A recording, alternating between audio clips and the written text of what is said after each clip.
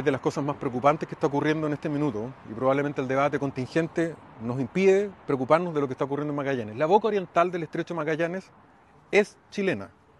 Desde 1881 y ratificado después del Tratado de Paz de Amistad desde 1984, el estrecho de Magallanes es chileno.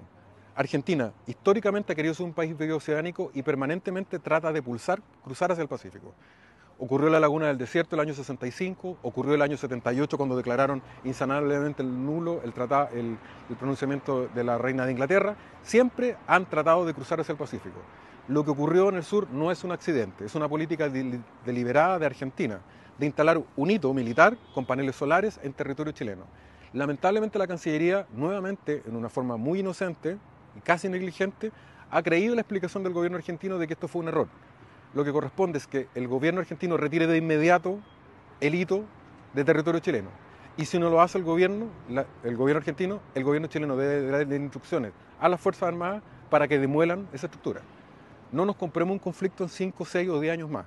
Demos una señal muy clara a Argentina. Somos hermanos, estamos destinados a ser vecinos, pero cada uno en su lado de la frontera. Ni un metro se cede a Argentina y el territorio chileno se defiende. Por tanto, hoy día lo que corresponde es que el gobierno y la Cancillería y el Ministerio de Defensa actúen con claridad.